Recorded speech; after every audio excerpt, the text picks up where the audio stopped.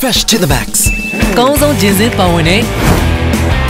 Brands ဂျင်းညူအသစ် caffeine free ဖြစ်လို့ကျန်းမာရေးနဲ့ညီညွတ်စေတယ်တောက်ကြည့်လိုက်ပါ Brands ဂျင်းညူအသစ် မိုးကုံမြို့နှစ်ရှရာပြည့်ပွဲတော်ဖွင့်ပွဲအခမ်းအနားကိုမတ်လ29ရက်နေ့ကနနက်9:00နာရီအချိန်ကမိုးကုံမြို့မုံကွဲမှာကျင်းပခဲ့ပါတယ်။မိုးကုံမြို့နှစ်ရှရာပြည့်ပွဲတော်ဖွင့်ပွဲအခမ်းအနားကိုမန္တလေးတိုင်းဒေသကြီးဝန်ကြီးချုပ်ဒေါက်တာစောမြင့်မောင်နဲ့အစိုးရအဖွဲ့ဝင်များအလဲပိုင်းတိုင်းစစ်ဌာနချုပ်တိုင်းမူပွဲကျင်းပရေးကော်မတီဝင်များမြို့မိမြို့ဖများမြို့ခံအမှုပညာရှင်များဒေသခံတိုင်းရင်းသားများအပါအဝင်အနေနဲ့ရရဲမှဒေသခံများတက်ရောက်ခဲ့ကြပါတယ်။ဖွင့်ပွဲအခမ်းအနားကိုမတ်လ29ရက်နေ့နနက်9:00နာရီအချိန်မှာတိုင်းဒေသကြီးဝန်ကြီးချုပ်ဒေါက်တာစောမြင့်မောင်နဲ့အစိုးရအဖွဲ့ဝင်များအလဲပိုင်းတိုင်းစစ်ဌာနချုပ်တိုင်းမှုတို့နဲ့မိုးကုံမြို့ဒေသခံအမှုပညာရှင်များဖြစ်တဲ့ဝင်းမုံရွှေရီဖွေဖွေခင်လင်းနယ်တို့ကဖဲကြိုးဖြတ်ဖွင့်လှစ်ခဲ့ကြပါတယ်။အဲဒီနောက်တိုင်းဒေသကြီးဝန်ကြီးချုပ်ကရွှေမောင်းသုံးချက် DB အဖွဲ့အမှာစကားပြောကြားပေးခဲ့ကဖွင့်ပွဲဖွင့်လှစ်ခြင်းနဲ့အတူမိုးကုံမြို့အရှိပိုင်းနဲ့အနောက်ပိုင်းတို့မှာထားရှိမဲ့ဗိုလ်ချုပ်ကျေးရုပ်တုများကိုလည်းတပြိုင်နက်ဖွင့်လှစ်ခဲ့ကြတာဖြစ်ပါတယ်။မိုးကုံမြို့နှစ်ရှိရာပြည့်အခမ်းအနားတွေပြုလုပ်မှာနဲ့ပတ်သက်ပြီးပွဲတော်ကျင်းပရေးကော်မတီမိုးကုံမှ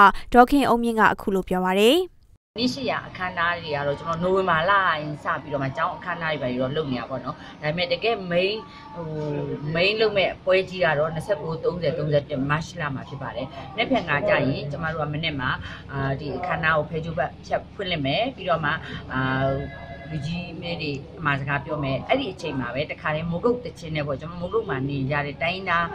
ဘောင်းဆောင်ရဲ့အကအလားတွေနဲ့ဖြောပြမယ်အဲ့ဒါပြီးလို့ရှိရင်တော့ကျမတို့ဟိုဗိုလ်ချုပ်ကျေးရုပ်ဖွင့်ပွဲဗိုလ်ချုပ်ကျေးရုပ်ကတော့ဒီအရှိပိုင်းမုံငွေးမှာတရုပ်ဟိုတစ်ခုရှိပါတယ်အဲ့ဒီဟာဗိုလ်ချုပ်ကျေးရုပ်ဖွင့်ပွဲရှိမယ်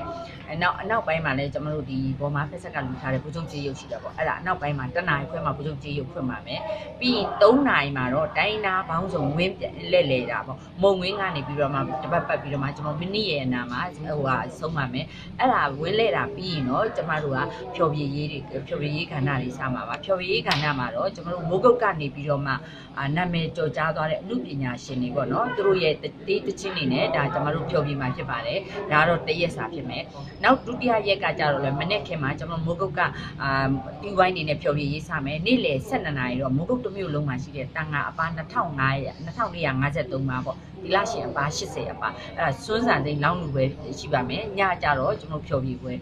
နောက်31ရက်ကြတော့မနေ့8နာရီမှာကျွန်တော်ဒါကျမတောင်ဆရာတော်ဘုရားရဲ့ညောင်သုံးမင်ဆရာတော်ဘုရားရဲ့ဒီမိုးကုတ်ကစေနာရှင်တွေပူပေါင်းပြီးတော့မှစွန်းလောင်းမှာဖြစ်ပါတယ် မိုးကုံမြို့နှစ်ရှရာပြည့်ပွဲတော်ကိုမတ်လ29ရက်မှ31ရက်နေ့အထိ3ရက်ကြာကျင်းပပြုလုပ်သွားမှာဖြစ်ကအစီအစဉ်ပေါင်းများစွာဖြင့်ကျင်းပပြုလုပ်သွားမှာဖြစ်ကြောင်းသိရပါဗျ။ပွင့်ပွဲစတင်ကျင်းပတဲ့နေ့မှာအမှုပညာရှင်များရဲ့ဖျော်ဖြေရေးအစီအစဉ်များအပြင်ပွဲတော်အတွင်းမိုးကုံမြို့ရဲ့တမိုင်းမှတ်တမ်းဓာတ်ပုံများဗရက်များနဲ့ဓာတ်သတ္ထုထွက်ရှိရာတွင်းများရဲ့တီနီယာပြမြေပုံနဲ့ပုံစံငယ်များအစရှိတဲ့မိုးကုံမြို့နဲ့သက်ဆိုင်တဲ့မှတ်တမ်းများကိုခင်းကျင်းပြသထားခဲ့တာဖြစ်ပါတယ်။မိုးကုံမြို့နှစ်ရှရာပြည့်ပွဲတော်အထိမ်းအမှတ်အဖြစ်နိုင်ငံသားခီးသွွားဧည့်သည်100ကျော်အားပွဲတော်3ရက်အတွင်းအကန့်အသတ်ဖြစ်လာရောက်လဲပတ်ခွင့်ပြုထားကြောင်းဟိုတယ်နဲ့ခီးသွွားလာရေးဝန်ကြီးဌာနမှသိရပါဗျ